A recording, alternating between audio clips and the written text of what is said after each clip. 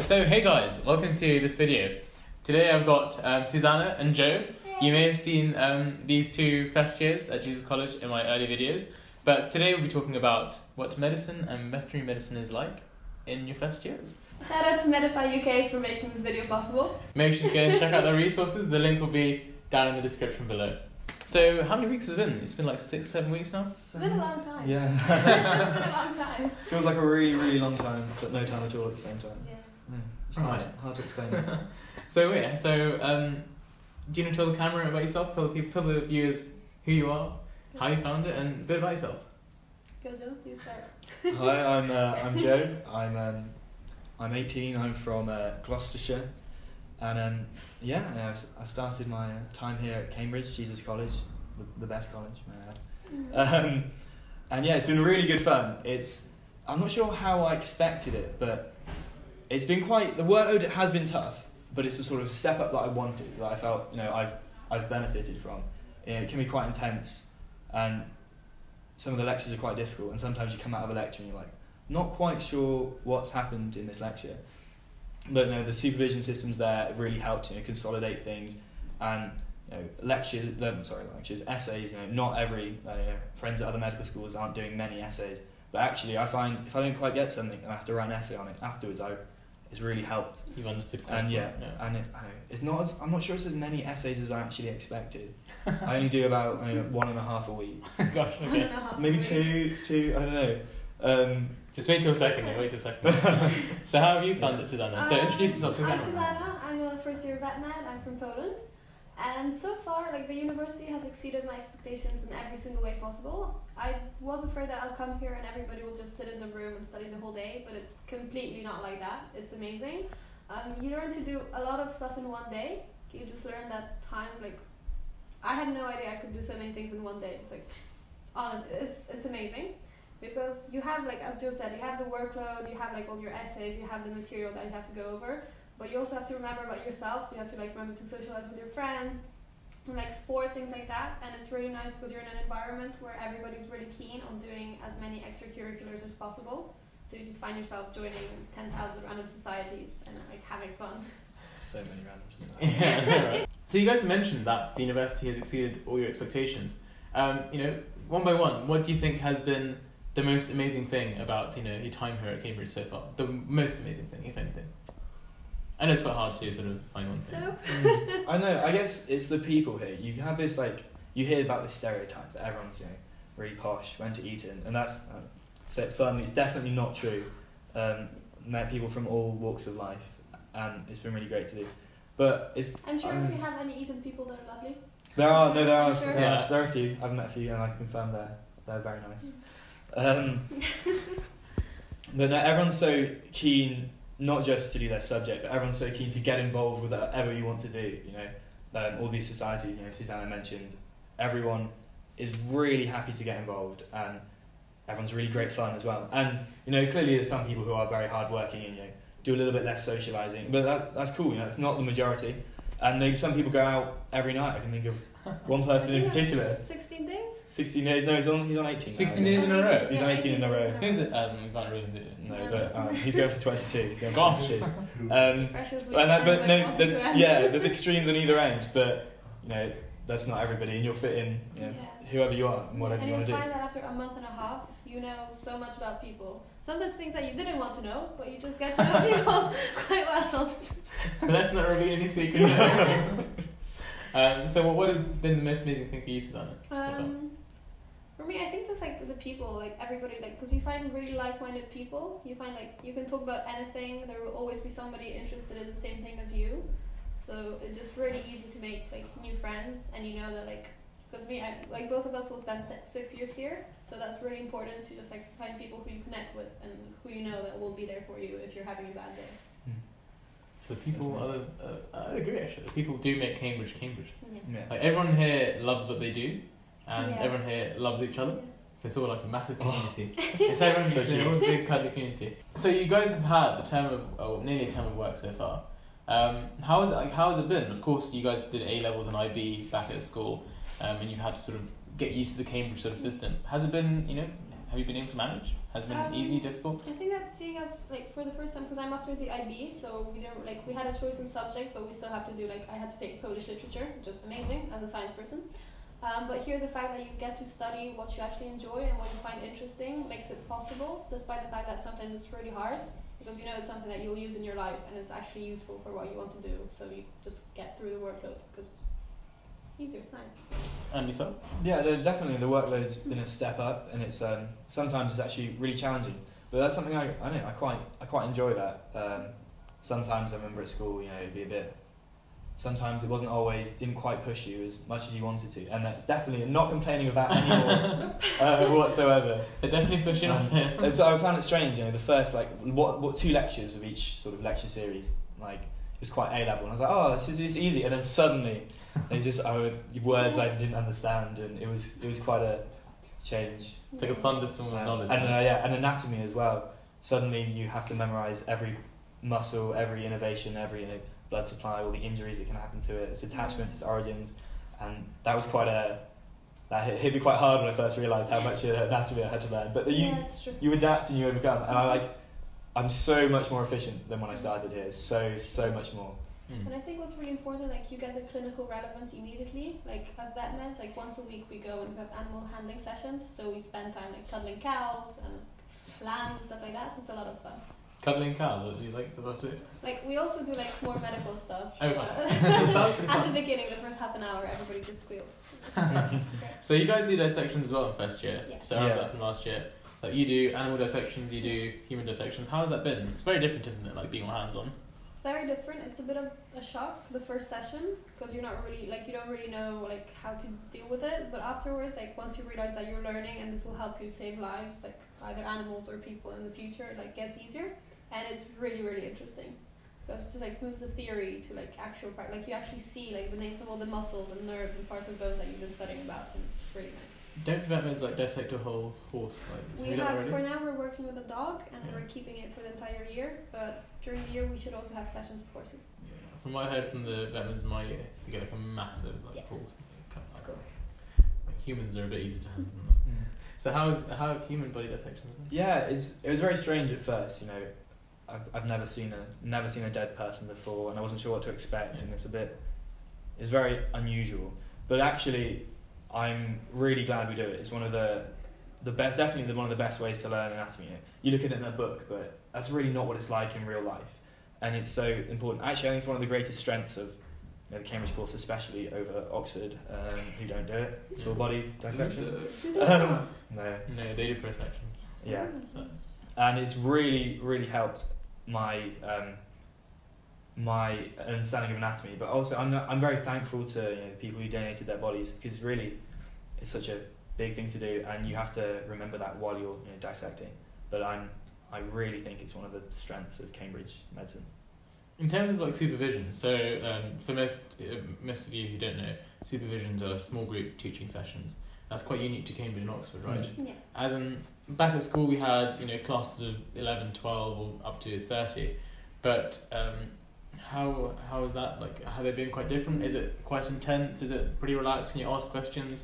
It's quite like I quite enjoy it because it gives you the possibility of go over the material and your supervisor will tell you the areas which are like important, like what you should focus on. And if you have any questions, you can just fire away because like it's not embarrassing. Nobody will laugh at you because you're literally sitting with two of your friends and just chatting. So it's quite nice. And one of our supervisions we just sit down and have tea, which is also lovely. It's a great like Is breather. that is that with Jasmine tea or is that um, chamomile at the moment? he's got some new ones come back from China he's got some new tea Yeah. What? Oh, we're missing out. yeah. Better go back. Yeah. All right. Um, and how have you found supervisions? Yeah, some of them are pretty intense. They vary, you know, from supervisor to supervisor. Um, but it's sort of strange. You go to school, yeah, like you said, you have a class of 30 people. Then you go to university and you have a lecture of 300 people. Uh, but then you go straight to a supervision of like one to three, usually. Mm. And it really, because I know, I, I get very easily confused in the lectures. And it really helps, not only to help them explain it to me, but I can ask questions of things I didn't get. Or especially if you've got questions slightly outside of the, the spec, sort of extra things. Because a lot of the time, you know, in A level or whatever, you could Google it and you sort of come up with an answer. It doesn't quite work like that anymore. Things are very specific to the Cambridge mm. course, and there's not a actual like curriculum to follow. Hmm. So I find it very helpful to sort of just ask a lot of questions in them. And if you're prepared, you've done the essay, they can't. They're not too bad, you know. So like you've got loads of essays and those sort of things to do. What other stuff? What other things do you guys do in Fester at the moment? Like, do you have practical submissions and how do Mhm. they work? As in, would you like to tell people Um, about practicals? So we have um, we have six physiology practicals uh, this term. What do they involve usually? Oh, they were they're great, quite good fun actually. They're good we, we like uh, we electrocute ourselves, you know, Both uh, worms. di- dissect worms and um, simulate them electrically. Um, Isn't the one where you like put like a, a pack in your arm and your arm starts like Yeah. buzzing? yeah, that's yeah, and use, yeah, Yeah. and um, exercise your ECGs. They're all very like hands-on, and we're always the test subjects. Mm. So it's quite You quite fun to, to do. Yeah, you get to see how like what you learned is like actually true on your Mm. own body. And they're very keen on the fact that we can pretty much ignore the experiment if we want to. If we decide there's something else more interesting that we can text, Yeah. test in that experiment, they're very the pro um, Yeah. us doing our own experiments and doing a bit of you know research on our own. So it's quite useful, isn't it? Instead of like learning physiology just from like the lecture notes, you kind of Yeah. apply it practically. definitely. Um, I think you've got a physiology practical test as well to look forward to. So whole didn't know that. so yeah, um, so you've got Fab or VAP for you, uh, MIMS and HOM. So MIMS is biochemistry, HOM is homeostasis. Uh, do you have like have you met any patients or have you like had any an- you've had animal encounters you mentioned? Uh, we have But- animal handling session, but in respect to like patients, we only meet them in our clinical years. For now, we're just like meeting healthy animals. But as a vet med, you have like an obligatory 12 weeks of work experience in the first three years and 26 in the last three years. So like during your own time, during the holidays, like you're still gonna be proactive and you're still gonna have things to do with veterinary medicine and just like rotate in work placements. And with regards to patients, have you done PFP yet? Yeah, so we have something called PFP, and in first year this involves two visits, one to um, see patients in a GP like practice, and one where you go to the patient's home. And I, last week I did the one where I went to a patient's home. There were two of us, and we interviewed a woman for about uh, fifty minutes, um, an hour on her her um, health issues uh, and how she felt about them, her experiences. It was kind of it wasn't like anything. We weren't taking history, we weren't trying to diagnose or anything. It was just more to get a sense of healthcare from the patient's point of view. It was Mm. actually a really it was a really good experience. It was really fun. We got on very well with her. She was quite a quite a character. I think we had um, an elderly man who'd like been through Cambridge. I think he was a physicist or something, and he he was I think he had dementia. So it was like it was really interesting actually speaking to a patient and like just really oh he yeah it's just nice to really get to know them. I remember asking um, what she wanted in like for the future. I meant in terms of her health, Mm. and she said world peace. So you know, she was quite a quite a sweet woman. Um, so of course you're at Cambridge, so you pretty much at like the forefront of medical research, or at the forefront of lots of innovation. Like, does it feel as if you're in like a place where new ideas are always around? amazing because during lectures you're like learning about things and they're like, yes, this was discovered in the lab next door five years ago, but by one of the Cambridge students. Like, wow, that's amazing. And actually, some of our lecturers teach us about things that they discovered by themselves, Mm. which really makes it interesting. It's amazing. Have you heard about them, like Watson and Crick, and how one of our supervisors always says, Yes. "Oh, I knew them. They were down the road." Yeah. right?" Yeah. yeah. And all our like course texts are like ones that the lecturers have written. Yeah. Um, and I remember there's one, our supervisor recommended this book on physiology, and in the front there's like a shout out to our lecturer. It's like big thanks to Chris Wang. Um, Oh, I love, I love Professor Hang. He's great. Yeah. um, Yeah, so the, even the textbooks are written by the lecturers themselves. So Mm. when you come here to Cambridge, you get like the the best pretty much in the Definitely, world at um at UG. Uh, That's good. Oh, how many minutes? So when yeah, when you come to Cambridge, you do get the best of people teaching you um, in the world. Now, why do you like Cambridge? Like, why do you guys apply to Cambridge as opposed to let's say Oxford? Do you have any personal reasons? Did you Um, visit there Cambridge? is no veterinary medicine at Oxford. Ah. Simple question. That's quite simple. um, so for me, there were a few things that went to it. There's um, slightly larger cohort at Cambridge. It's sort of a more people. I kind of wanted that. Like, uh, you know, I like I like lot, like be a lot of people? around. Yeah, exactly. Um, Addenbrooke's as well is a bigger hospital than, Yeah. than John Radcliffe, um, and so I decided, you know, six years as well. Now Cambridge, you don't have that moving thing after preclinical years that Oxford still does, and so I So you can't you go to London or Oxford, you have to stay yeah, in Cambridge. and no, it's so yeah. you know, perhaps some people want to go to London, but I was pretty happy to stay in Cambridge with Addenbrooke's, and Addenbrooke's is a really like regional centre. I thought Yeah. that was a really good aspect. And then, like I said before, uh, full uh, cadaver, uh, full dis- full body dissection rather than prosection yeah. is really I think is really helpful for learning it's really excited by that, and just Cambridge is better. It's just a beautiful place. Yeah, Like, yeah, is it? when you go to lectures in the morning, when you like I don't know ride about town, you just see like so many beautiful things. It's just a lovely Sometimes environment. just like walk through the center, it's like wow, how am I here? It's amazing. Yeah, yeah, you just look around the buildings and you're just Yeah. like I'm studying. Sometimes you just stop and look around. It's kind of surreal, right? Yeah. So, let's say you, uh, you know, in the, in the shoes of many people watching this, you're in sixth form, or let's say you're in year 11, you're 15, 14, 15 years old, maybe 16, and you're thinking about applying to Cambridge. What bits of advice would you give to people who want to come here in the future? One thing's like even if you're only just thinking about it, like do apply, do give it a shot. Like the, all, all that can happen is like you can get rejected, but it's like it's nothing. So like always apply. It's not as hard to get in as you would think. Like if you're the kind of person that would fit in here, that would like enjoy the experience, you will get in. And if no, that means that like if you got here, you would just be like really stressed by everything. So Yeah, I think they choose the people who want to be here. Yeah, and the system works quite well. Um, those who don't get in, I think it's for a reason. It's because the people exactly. who they interview. wouldn't enjoy their experience here. Mm. They. What do you think about? You know, what advice would you give to people? I think, especially for medicine and vet med, work experience is really important. Yeah. I mean, um, for not just like Oxbridge, but for whatever medical school you want to go to, uh, work experience is really important. Um, Why is it so important? As in, what do you gain from it? you're when you when you get into study medicine, you're not just like another student studying any other undergraduate course. You're a, you're a trainee, uh, sort of a trainee doctor in a way. Like you're you've already signed up to a profession, and if that's not a profession that you've experienced, witnessed, that you're not sure you want to do, then that's a very very big step in the dark, and it's not really a decision you can make responsibly without having experienced a healthcare environment and really deciding that's what you want to do. Now, some people do decide that's one what they want to do at age whatever, 17 when you apply, Yeah. and then they get to being a doctor and they actually change their mind. But you know, that's just something that happens. It's v- I think it's very important that you really decide mm. this is what you want to do. And it's not that just work experience, just like go out and do as much as possible of everything. Like become an interesting person, like find many hobbies, just like Yeah. see what you enjoy. Because like that's really, really important as well. I think just do what you love, pretty much, right? Mm. If you if you really like, if you do what you really like, and if you follow your interests, it will just come across when you apply. And then they want people who are interested in things they like, as opposed to Yeah. people who seem as if they are interested just to Yeah. try and get in. Um, yeah, from just you know not not just your work, from extracurricular activities to whatever you're doing, even if it's a small project. If you put your hundred percent sort of effort into it, it will come across, and it's um, yeah, it's it's I think it's recognised. Um, now about Jesus College. So many people also watching this will love Jesus College. You guys are crazy about Jesus College. is Definitely. the best Definitely. college out there by far in every aspect. What aspects? As in, what are your favorite things about Jesus? the location, because we're quite s- central, but at the same time we don't get like the influx of tourists, so it's quite like nice. Then we're really relaxed, like nobody pushes you into academia that much, so you also have time to enjoy like sports and like extracurriculars and things like that. People are amazing, food is good, Yeah, accommodation is great. yeah. Can't really I think our, our greatest asset is the space. We have loads of space, Yeah. which is slightly on the edge of town, and so lots of space means you've got better like facilities, sporting facilities. Mm.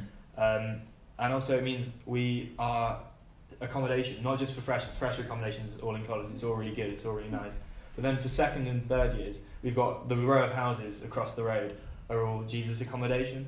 So I know in other colleges you get you can get moved out quite a way away. Like a five minute Because- journey to town for other colleges. Yeah, yeah, and um, and because of Jesus, everybody's a lot closer together. Everyone's around college. It sort of it promotes a stronger college atmosphere because everybody's So close so together. close together. Literally. Pro- pro- pro- You, you can't run away from people. you Yeah. have to socialize, you have no Yeah. choice.